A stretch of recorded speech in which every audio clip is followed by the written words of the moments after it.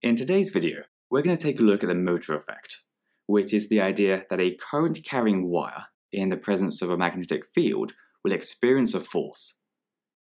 And we'll cover how we can find out the direction of the force and its strength. Now, we saw in the last video on electromagnetism that a current carrying wire will produce its own magnetic field. This means that if we place the wire between the north and south poles of two magnets, which will also have their own magnetic field, then the two magnetic fields will interact. This interaction results in a force on the wire, which will effectively push it out of the field. However, to experience the full force, the wire has to be at exactly 90 degrees to the magnetic field. Whereas if the wire is at a slight angle, it will feel slightly less force. And if the wire was running in the same direction as the field, then it would feel no force at all. To find the direction of the force, we need to know two things.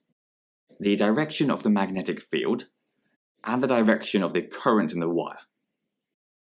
To understand how they affect the force though, we use something called Fleming's left-hand rule, which involves taking your left hand and pointing your thumb up your first finger forwards, and your second finger out to the side. Your first finger is meant to represent the direction of the magnetic field, so point it from the north to the south pole. Then you place your second finger in the direction of the current, and whichever way your thumb now points will be the direction of the force felt by the wire. It can be a pain to move your hand around and get it to work properly, but just practice it a few times and remember that you can tilt your whole arm or body if that helps. Another scenario you might see the motor effect in is between the two poles of a horseshoe magnet. Between the north and south poles, we have three metal rails through which a current can flow. The two rails on the sides are fixed, but this one joining them is free to roll. As soon as we turn on the power source and the rails generate their own magnetic field, it will interact with the horseshoe magnet's field and experience a force. In order to figure out which direction the force will be in, we have to use Fleming's left-hand rule again. As the magnetic field is pointing downwards, from north to south, so will our first finger. And as the current is flowing through this rail towards us, we have to orient our second finger towards us. And hopefully, your thumb will now be pointing to the right, which is the direction of the force. The last thing we need to look at is how to calculate the strength of the force.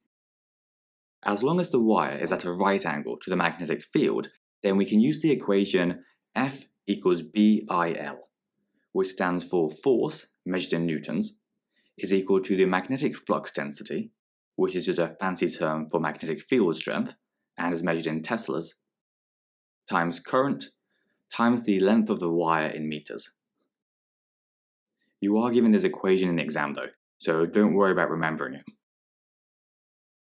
So let's imagine that we had a 10 centimeter piece of wire with a 5 amp current flowing through it, and we placed it at 90 degrees into a magnetic field that had a magnetic flux density of 0.4 teslas what force would it experience? Well, first, we need to make sure that all of our figures are in the right units, which they are, except the length, which would have to divide by 100 to get 0.1 meters. Then all we need to do is plug all of our values into the equation. So 0.4 times 5 times 0.1, which gives us 0.2 newtons. Anyway, that's all for today, so hope you found this video useful, and we'll see you next time.